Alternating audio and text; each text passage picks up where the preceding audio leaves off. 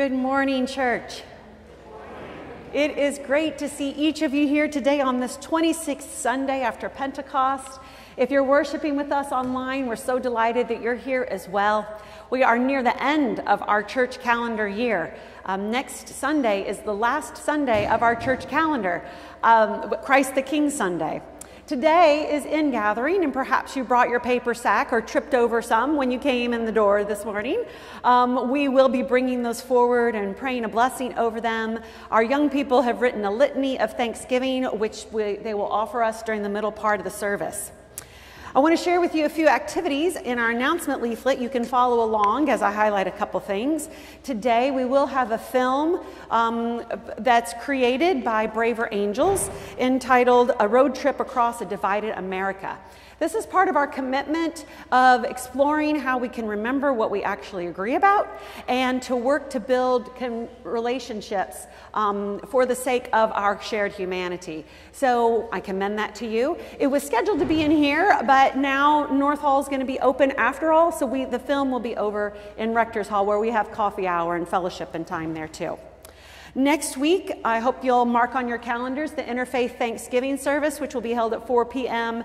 Um, at St. Andrews. It's a whole town-wide event, and um, is a brief, a brief. I mean, not like a Eucharist or anything, um, just a general prayer service that makes space for people of all faiths to join together. So that'll be next Sunday at 4 p.m. at St. Andrews. Um, also, next Sunday we will begin our Angel Tree um, an opportunity for you to purchase gifts for your children whose mothers are presently incarcerated. Um, Lastly, today is our incoming, I mean, our in gathering Sunday, as I mentioned about the food, but it's also the invitation to return your pledge for our work next year. We rely on all of our members of the congregation to help support the work that we do here together financially.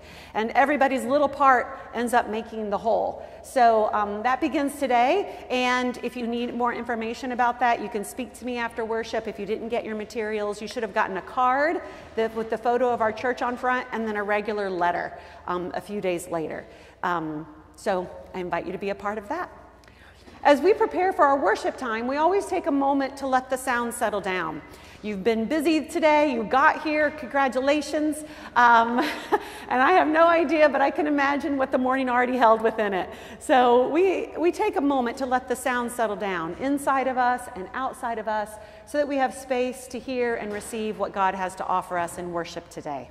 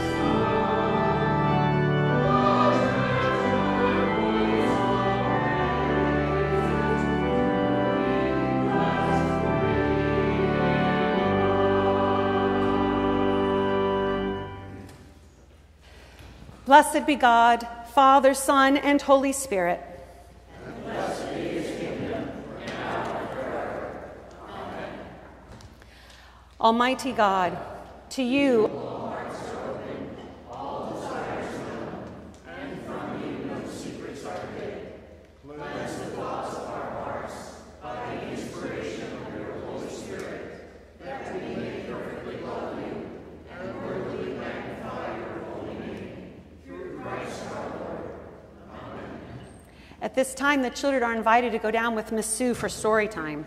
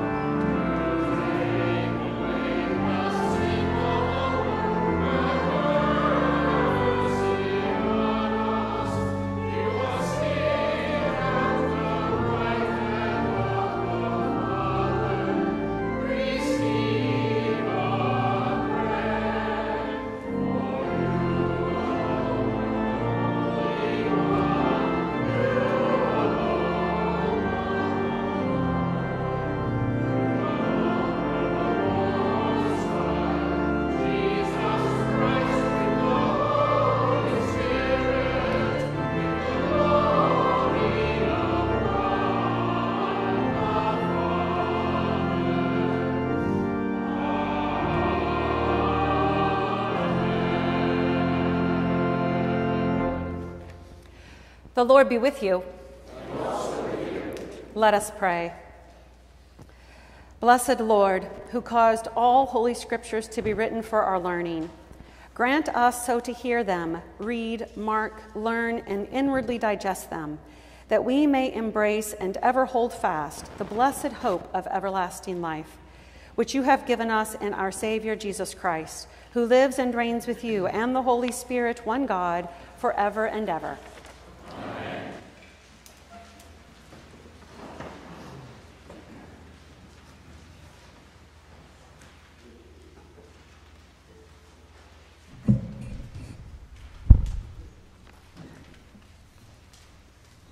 A reading from the first book of Samuel. On the day when Elkanah sacrificed, he would give portions to his wife Peninnah and to all her sons and daughters. But to Hannah he gave a double portion because he loved her, though the Lord had closed her womb. Her rival used to provoke her severely to irritate her because the Lord had closed her womb. So it went on year by year as often as she went up to the house of the Lord, she used to provoke her. Therefore, Hannah wept and would not eat. Her husband Elkanah said to her, Hannah, why do you weep? Why do you not eat? Why is your heart sad?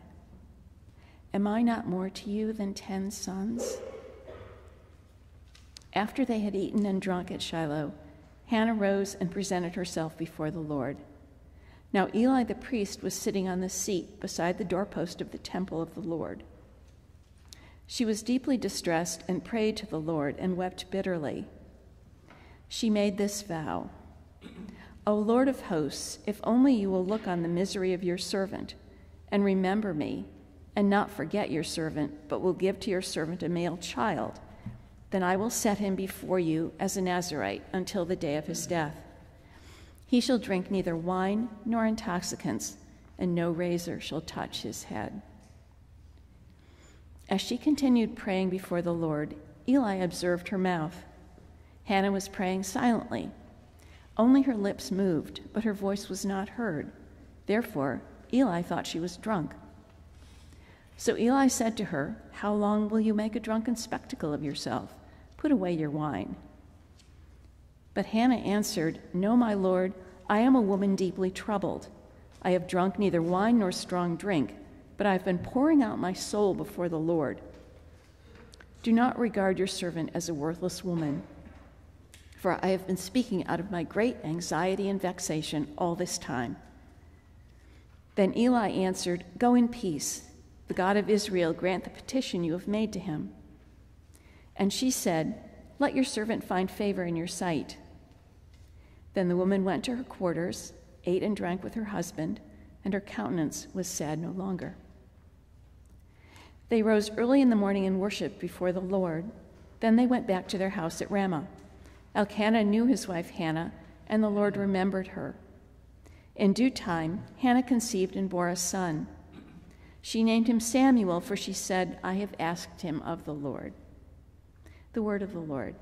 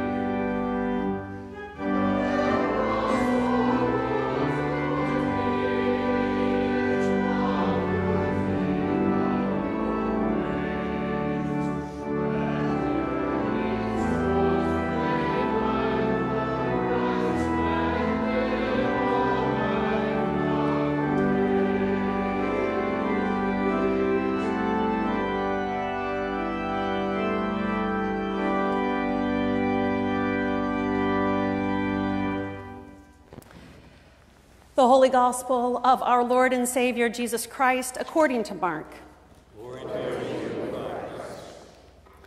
As Jesus came out of the temple, one of his disciples said to him, Look, teacher, what large stones and what large buildings. Then Jesus asked him, Do you see these great buildings? Not one stone will be left here upon another, all will be thrown down. When he was sitting on the Mount of Olives opposite the temple, Peter, James, John, and Andrew asked him privately, Tell us, when will this be? And what will be the sign that all these things are about to be accomplished? Then Jesus began to say to them, Beware that no one leads you astray. Many will come in my name and say, I am he, and they will lead many astray. When you hear of wars and rumors of wars, do not be alarmed. This must take place but the end is still to come. For nation will rise against nation, and kingdom against kingdom. There will be earthquakes in various places, there will be famines. This is but the beginning of the birth pangs. The Gospel of the Lord. Praise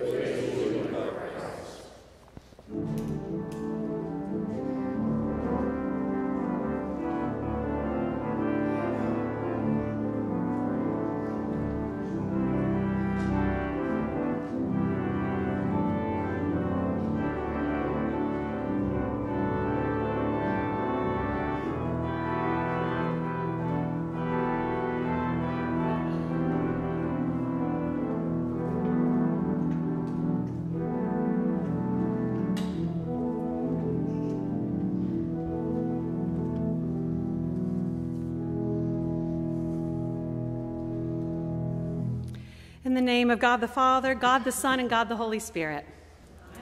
Please be seated. It was only sitting here in church listening to Bonnie read the first lesson and the choir sing so beautifully the Song of Hannah that I remembered the sermon I'm not going to preach. So I'll just tell you the highlights. this story, First Samuel, of Samuel's birth. You might recognize Samuel's name because he is the one that is given to Eli, who is the priest of the temple there, and he's the one that hears God speaking to him as a boy. Uh, that might resonate with you when he shows up by Eli's bed and says, "You called me," and Eli said, "No, I didn't. Go, go lay down." And it happens three times. The third time, the priest Eli realizes that God is speaking to Samuel. That's that Samuel. That's this Samuel. That's the Samuel. And the other reason I am excited about this story as well is the Song of Hannah is very similar to the Song of Mary. So if you go to Luke's Gospel, chapter 2, and place the Song of Mary beside Hannah's song, um, you will see the similarities. And these were written um, thousands of years in a different time. So it's, it's a real gift um, what the scriptures have to offer us. There's so much. There's just literally no way that it can get covered in a Sunday morning. And we have one lesson we don't even read that's appointed for today. There's just so much available to us as we seek to live this life of faith. So now to the actual sermon. Did you see the last word of today's gospel lesson? Did you notice it? Birth pangs. That will be the beginning of the birth pangs, Jesus says. And I said, Birth pangs? Birth pangs indicate that something has been gestating for a while, and now it is time for it to emerge into the world. How in the world, Jesus, does this come before that? Today's gospel reading immediately follows last week's. Jesus is challenging the system of how the world is working and how the religious institution is a part of it. What we read today in Mark chapter 13 is some of the last teaching of Jesus in Mark's gospel, because you see, the gospel of Mark is only 16 chapters long. And the last two chapters are really all about his um, trial and his, his crucifixion and his burial in Mark's gospel. The earliest texts of Mark's gospel don't include the resurrection story. So we are right here at the end of the Gospel of Mark. And it is mind boggling that Jesus is still saying some of the same things which have always been said. He is reminding them of the greatest commandment to love the Lord your God with all your heart, soul, mind, and strength, and to love your neighbor as yourself. This is how we practice our faith. This is the right practice of it. And our belief, our orthodoxy, our doctrine, it should follow the praxis. Love the Lord your God with all your heart, soul, mind, and strength, and love your neighbor as yourself. Everything is directed toward that. Everything we do, everything we believe goes in that direction. That sounds familiar. But when Jesus speaks about this temple being destroyed, it sounds like revolution speak. That's what people were looking for in God's kingdom. They wanted a revolution, they wanted something new to come about, for Jesus to lead an overturning of the government so a new kingdom could be established. And the disciples want to know when this is coming. First comes destruction wars and rumors of wars, earthquakes and fires. When those things happen, things fall apart. They are not what they used to be. And Jesus says, This is the beginning of the birth pangs. To which I say, Not death? This is the beginning of something being born rather than something ending? How can we tell? Becomes our question. How can we tell that we are the at the beginning of the birth pangs? God's vision for God's kingdom is that everyone is saved. The only qualification for being included in God's kingdom is a willingness to consent to salvation, a willingness to allow God to be your Savior. The love of God is revolutionary. It is God who defines love, not the other way around. And God, who is love, does tear down systems which dehumanize and destroy creation. Love is a powerful force. So let's unpack this a little. Mark's gospel, you might know, is the first of the gospels to be written. It comes before Matthew or Luke or John. Its estimated date is around 70 of the Common Era. And this date is believed for several reasons, but one of them is because the turmoil in Judea, which led to the destruction of the temple in 70 AD, about which Jesus is speaking, seems to have been underway or maybe even completed by the time Mark's gospel is written. Things were not going as the disciples had thought. In fact, many of the disciples were already deceased. In our passage for this morning, which is only three chapters from the end of the gospel, we hear Jesus speak prophetically first. In the first two verses of this 13th chapter, Jesus says, Not one stone will be left here upon another, all will be thrown down. I'd like to differentiate between prophecy and fortune telling or predicting the future, since often people make them synonymous. Prophecy is a moral reflection on the present time. It is saying, This is the path that you're on. You see the end? Repent, which means to turn around if you don't want to go that way, because you are on this road. Prophecy serves as a warning. If you don't change, this is where you're going. The destruction is simply what comes from not heeding the warning. The destruction comes only from not changing course from your current path. That's what a prophet does, calls people in to repent. And this is why I say that our young people, our teenagers, are prophets with a little p. A little p. Not a capital P like Prophet Isaiah or Prophet Elijah or Prophet Elisha or the Prophet Ezekiel or the Prophet Micah. Not a capital P, a little p.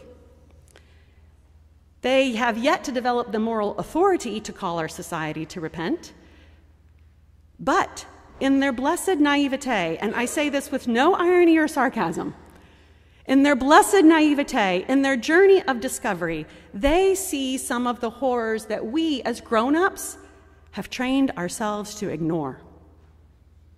We have learned to just not look over there.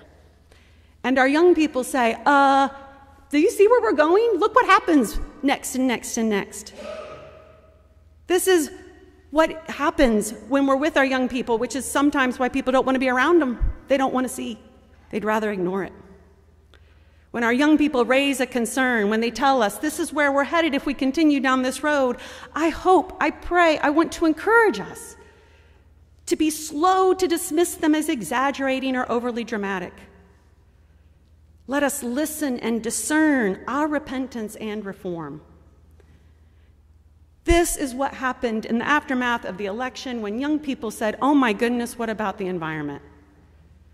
Knowing to some extent what some of the changes would be under Trump's administration, they said, What are we going to do about that?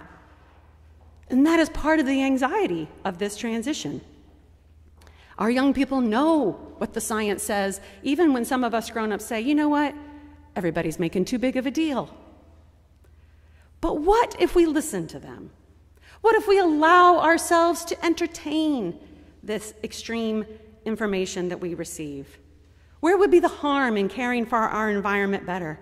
Where would be the harm in attending to making changes? Even if it's not going to be as bad as some people say it will be, what would be the harm in actually improving the effort? There's the question our young people ask of us. So, prophecy is about a call for repentance and reform. Consider how you have time to change your ways, because this is the path that you're on. And Jesus is saying that to the disciples. Then Jesus addresses the disciples' questions when they say, How will we know that this is happening? And it's tempting for us to read his words as apocalyptic when he talks about wars and rumors of wars and uh, earthquakes and fires. They've been going on for a long time. Um, so if, if you have a little length of time on this earth, you say, Well, it was really bad then too. But Jesus' words aren't apocalyptic. They're not apocalyptic for two reasons. One, they don't follow the pattern of apocalyptic writing in Scripture. And another is that apocalypse means to uncover, to reveal. Apocalyptic writing shows us symbols that may then be interpreted to reveal a truth about God, and that's not what Jesus is doing here. There is nothing being revealed in Jesus' words, no truth being made known about how God works. I refer to 2020 as an apocalyptic year, a year of revelation, because all kinds of things were made known to us, whether we wanted to know them or not. All sorts of things were being revealed to us during that year. We started to recognize that economic inequality shapes physical health. Many of us didn't know that, or were blind to the extremities of it. We started to recognize that physical contact with other people was necessary for mental health. Oh, actual physical bodies actually help the brain. That was another discovery that we made along the way. But we also saw really hard and horrible divisions in our nation that we wanted to believe weren't there. It was painful and it was scary. And that's informing our reality now. Will that happen again? When we saw protesters be sprayed with tear gas, we say, Will that happen again? We never thought we would see that. When we come to know things, we sometimes can be burdened by the knowledge and we want to dig into the sand and put our head down in there where it's safe and warm and quiet. But a life of faith, and Jesus is saying this follow me because I'm going to help you go through this. You cannot control the way the world works, but you can, in following me, find your direction, a path towards salvation. In the span of eternal time, we are still in the same moment as 2020. It was only four years ago, and as far as eternity is concerned, that is maybe the blink of an eye. Unless the effort of our part remains the same as we seek to live faithfully in this day. Jesus is instructing the disciples on how they are to conduct themselves in the political and social culture and turmoil of the age. He is telling them, he is telling us, as people who are his followers in the 21st century, that we are to follow him. Whenever and wherever Jesus' followers are found, no matter the decade, no matter the date, they are to direct their efforts so that they might endure through the hardship. They must focus on claiming and proclaiming the love of God in the world. That is the gospel. And that is our task. How do we know love and present love in the world so that people recognize love in the world? This is not about moral scrutiny. None of us need to go out with a clipboard to figure out who's in and who's out, or whether anyone has earned a right to speak. We earn our right by speaking love. We earn our right by proclaiming love, demonstrating love in the world. Our task is to preach the gospel, which is claiming and proclaiming God's love for all creation in this world. Now, if I've been listening accurately, I think I know that most people think the idea of preaching the gospel is terrifying. Just don't make me say anything. I understand, and I'm not going to make you. But I want to invite you into two things which can help God help you to find your words when words are necessary, and to find your actions when actions are needed. Two things which we can encourage each other to work on as individuals and collectively as St. Stephen's. Two things which we can encourage one another, in which will allow God's love for all to be operative in the world. How do we learn to speak love without an invitation? And how do we learn what to say? I want to touch on both of these things briefly.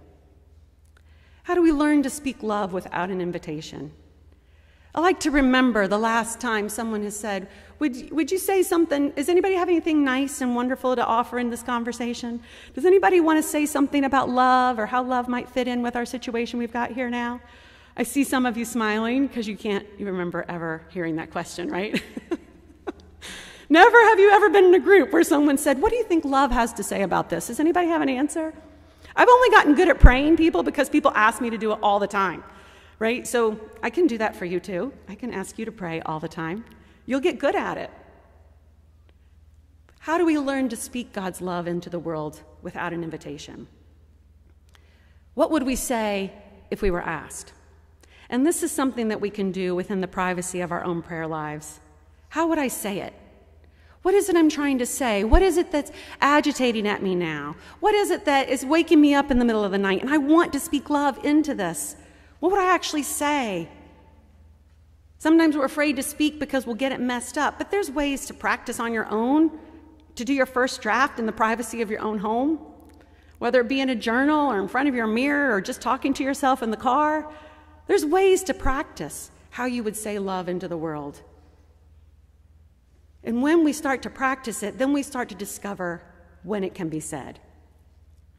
You see, the next verse in Mark's gospel, which we will not read before we finish with this gospel next week, is about Jesus saying, People are going to call you to account for yourself because of me. Don't worry about what you're going to say, Jesus says. Don't worry about it. The Holy Spirit will give you those words. But what the Holy Spirit does is pull those words from you that you already have. And so that is our discipleship, our practice on proclaiming the love of God into the world. You know, I'm teaching this book, um, well, or creating some space for dialogue and encouragement on this book on caring assertiveness. It truly, the whole book is about how do you claim the truth and share it in a way in which other people want to hear it. That end phrase is really pivotal and necessary. how do you share it in a way that other people want to hear it? Most of us don't share because we don't want people to ostracize us or to not welcome our words. And many of us don't share because we have been hurt by people telling us the truth in ways that we don't want to hear. So the invitation as our as disciples is to say how do we share it in a way that people would want to hear it? If God is love, how would I say that in a way that they would recognize it? We think about this even in the social issues that we care about as a congregation. When we welcome in the LGBTQ community, they need to hear that they're welcome because unless someone says it, they won't know. So Jesus warns the people as this beginning of the birth pangs happens that some will come and say, I am he, I am the Messiah. He says, Don't believe them. You'll recognize the return of the Messiah because the two greatest commandments will be upheld through it all. Yes, there will be suffering, but don't be distracted from the journey of love's work because of the suffering. New life for all is on the other side. We, as Christian people, we believe in the resurrection. New life comes after death. And we believe in birth. New life comes after separation. Whether we live or die, we are the Lord's possession. Whether in birth or death, the Lord is bringing about something new. The truth is that God defines us. Our circumstances do not define us, God defines us. And we come into this room week after week to remember ourselves. So the question before us is how do we live within our understanding of ourselves as beloved creatures of God? The social environment does not affirm the value of humanity. We are consumers to the world. We are relied upon for our consumption, and the ads will affirm it. So we cannot look to the economic or social structures of value out in the world to understand our humanity. We must first contemplate the scriptures, allow our understanding to influence the way we live, and verify our sense of direction in the tradition of faith which has been passed on to us. This is how we find our way. This is how the disciples have always done it. When we consider the question, how do we live within our understanding of ourselves as beloved of God? The answer is that Jesus will teach us as we allow ourselves to be taught by Him. I want to invite you to join in prayer as we finish in this homily today by pulling out your collect for today. It's on the front page at the bottom right column. And we are going to pray these words together, starting with the words, Blessed Lord. We'll pray in unison. Let us pray. Blessed Lord, who caused all holy scriptures to be written for our learning Grant us so to hear them, read, mark, learn, and inwardly digest them, that we may embrace and ever hold fast the blessed hope of everlasting life, which you have given us in our Savior Jesus Christ, who lives and reigns with you and the Holy Spirit, one God, forever and ever. Amen.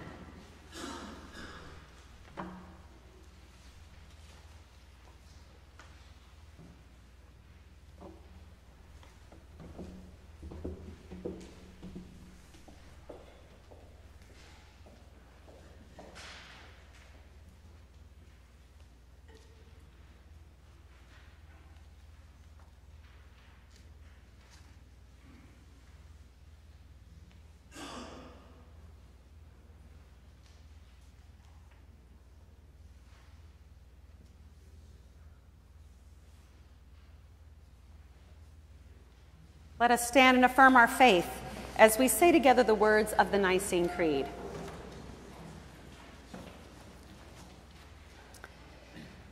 We believe in one God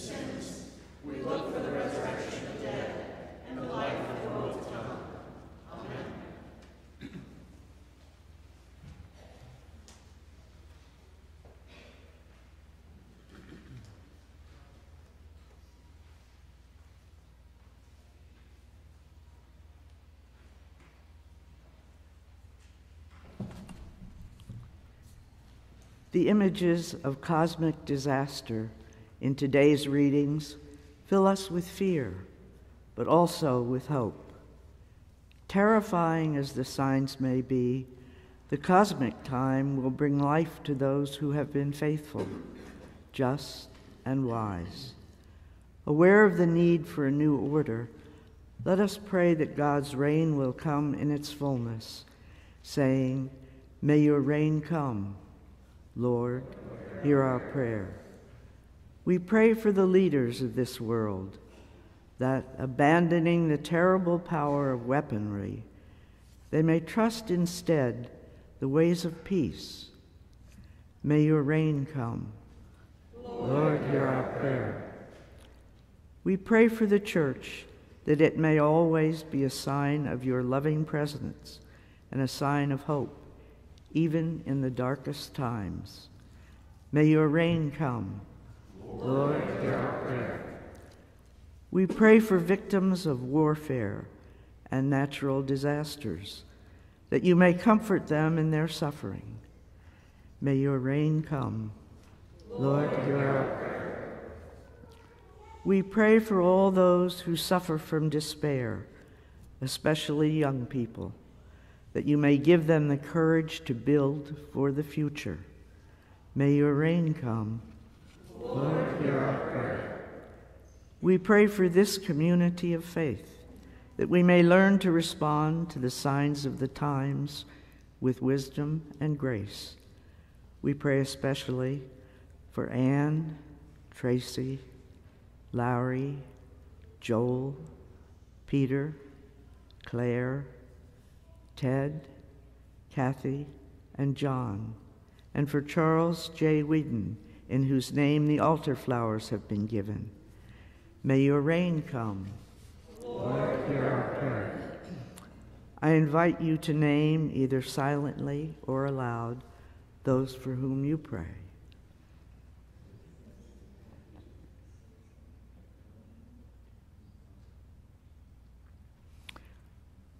Loving God, giver of life, the town of Ridgefield exists on the ancestral homelands of the Ramapo, Munsee Lenape, and Wich- Wichita Jake people. They were the original stewards of this land on which St. Stephen stands today. We thank them for their strength and their resilience in stewarding this land and we hope to continue their legacy of valuing all of creation. Amen. As you know our hopes and fears even before we speak them, hear the prayers of your people. Help us in our struggle to stay alert, that we may be ready for the hour of your coming. We ask this through Jesus, your Son. Amen. Let us confess our sins against God and our neighbor.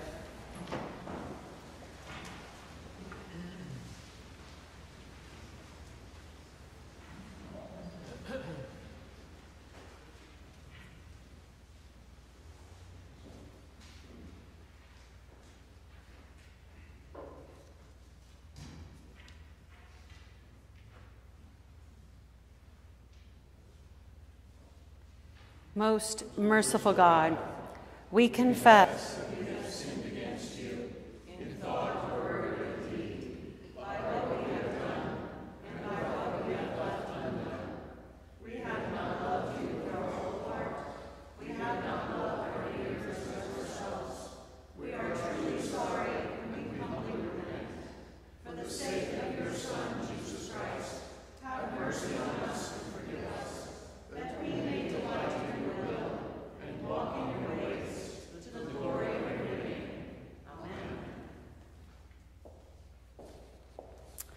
Almighty God, have mercy on you. Forgive you all your sins through our Lord Jesus Christ. Strengthen you in all goodness, and by the power of the Holy Spirit, keep you in eternal life. Amen. Would you stand, please? The peace of the Lord be always with you. I invite you to turn and share a sign of God's peace.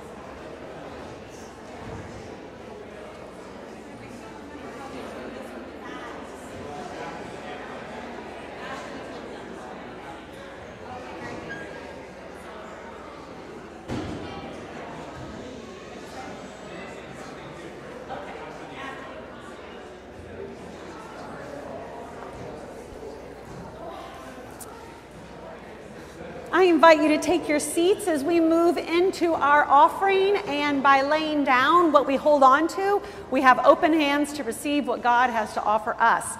We um, have, as I mentioned before, this is in Gathering Sunday. So the ushers will pass the plates during the offertory um, anthem, as you see here. And then we will bring forward the plates and then also the bags of food.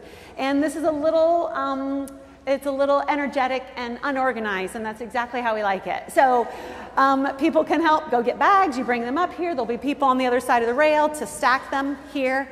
And then after that part, our young people will lead us in a litany of thanksgiving. So, as we prepare for what God has to offer us, yet again, we practice letting go so that our hands are open so that we might receive what God has to offer us.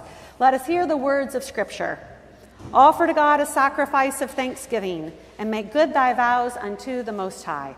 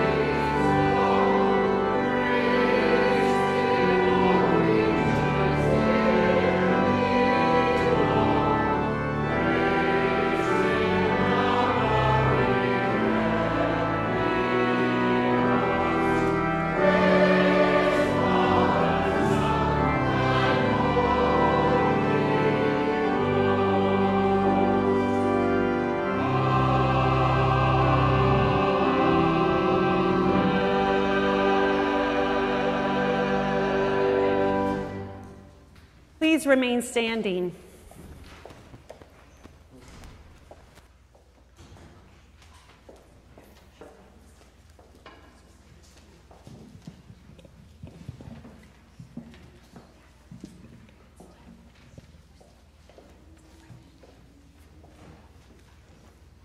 In this litany of thanksgiving, we dialogue with Psalm 23, a psalm of David. The Lord is my shepherd, I shall not want. He makes me lie down in green pastures. We thank you, God, for our homes, for places of safety where we can separate ourselves from the chaos of the world. He leads me beside still waters. He restores my soul.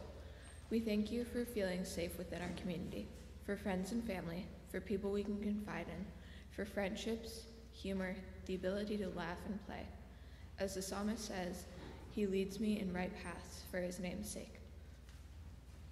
Even though I walk through the darkest valley, I fear no evil, for you are with me. We thank you, God, for opportunities given, for education, for rest and energy, for mentors, coaches, and teachers, for caffeine, coffee, tea, energy drinks, for injuries, hardships, conflict, challenges, and school lunches, for freedom of speech and freedom of expression, for our ability to move past things and not stay in one place when something bad happens. As the psalmist writes, even in these hard times, your rod and your staff, they comfort me. You prepare a table before me in the presence of my enemies.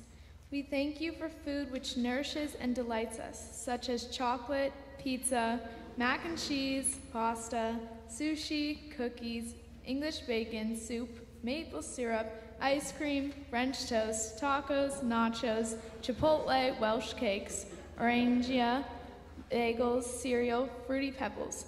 We thank you for our health, bodies, which work for doctors, dentists, insurance. You appoint my head of oil, my cup overflows. We thank you for liberty, equality, fraternity. We for stories which help us find ourselves, awakening to your presence. We thank you for organizations which helps us work across differences, the United Nations, European Union, North Atlantic Treaty Organization, and allianships of other countries. For the American Red Cross, kind people, people who care. For Pinterest and other social media, which help us connect with people, break down barriers, and help people. For public transportation, cars, material things that help us, appliances, and inventions. For the government, people and leadership. For labor unions and the armed forces. For our interconnectedness and reliance on one another, we have more than enough. Surely goodness and mercy shall follow me all the days of my life. We thank you for clean water, for creation, the seasons, for the ocean, for dogs, cats, coral reefs, everglades, wetlands, variety of animals, for trees, including the, hun- including the 200 year old ginkgo, which is on our campus, second oldest in the state of Connecticut, for air, oxygen, and weather. We thank you for being the Holy Trinity of God, Jesus, and the Holy Spirit, always in relationship. For history and tradition, for art and music, and the ability for expression. For the communion of saints, for your mercy, forgiveness, and grace. And I shall dwell in the house of the Lord my whole life long. We thank you for the primacy of love in the name of the one God forever and ever. Amen.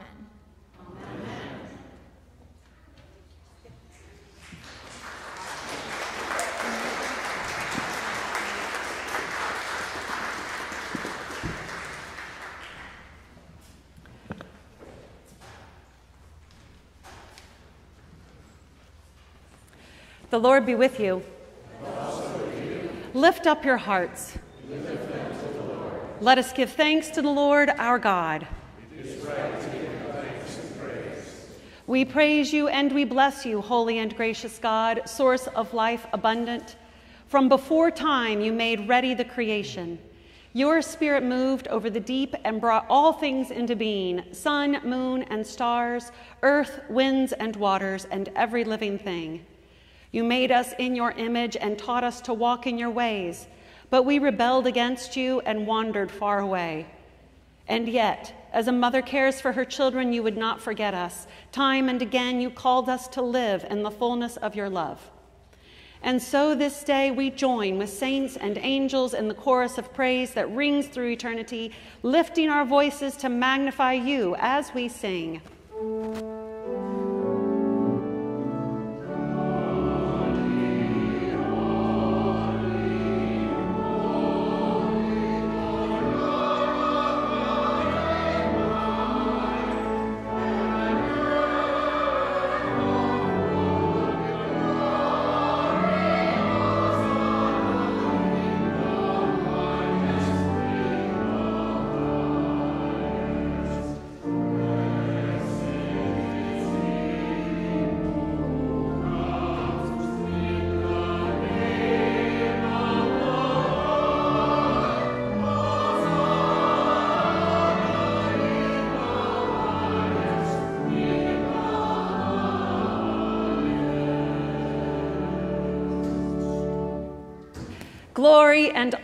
And praise to you, holy and living God, to deliver us from the power of sin and death and to reveal the riches of your grace. You looked with favor upon Mary, your willing servant, that she might conceive and bear a son, Jesus, the holy child of God.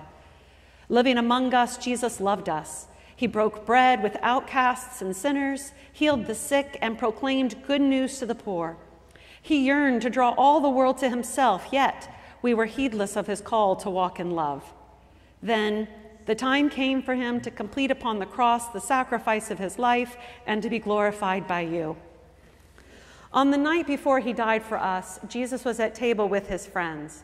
He took bread, gave thanks to you, and gave it to his disciples and said, Take, eat. This is my body, which is given for you. Do this for the remembrance of me.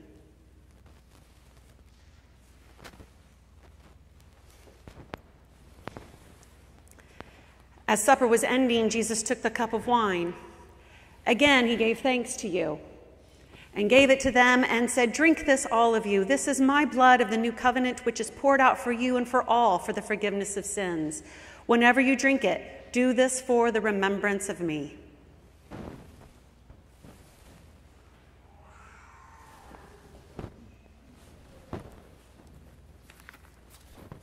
Now, gathered at your table, O God of all creation, and remembering Christ, crucified and risen, who was and is and is to come, we offer to you our gifts of bread and wine, and ourselves a living sacrifice.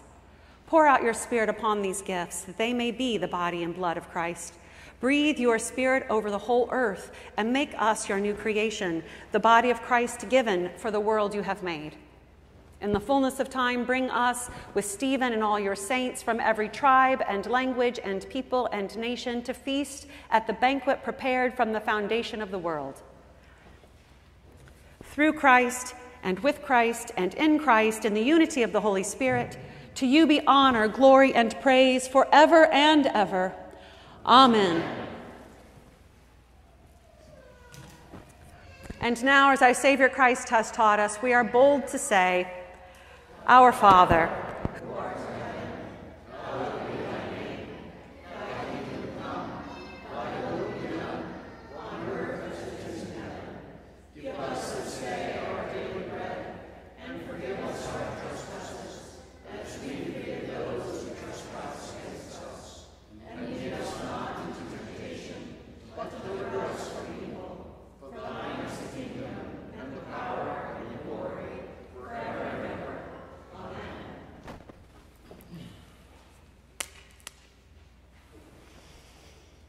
Alleluia.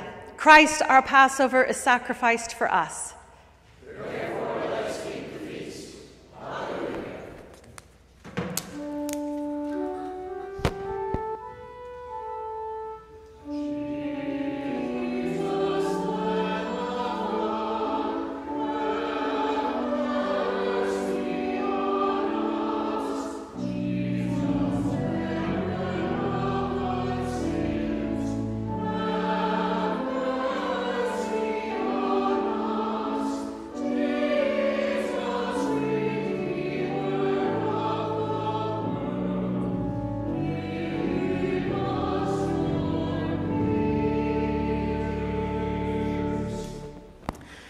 This table, you who have much faith and you who would like to have more, you who have been here often and you who have not been for a long time, you who have tried to follow Jesus and you who are conscious of your failure, come. It is Christ who invites us to meet him here, sustaining us for the life we are called to in him. The gifts of God for the people of God.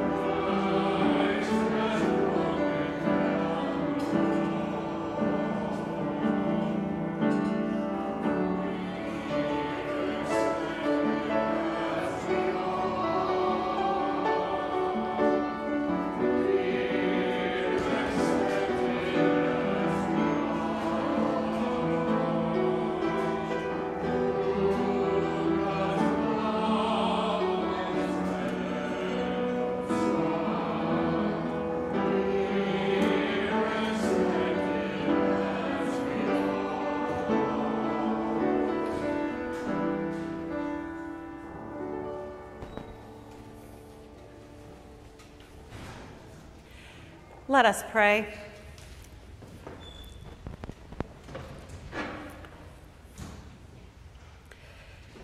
Eternal God, Heavenly Father,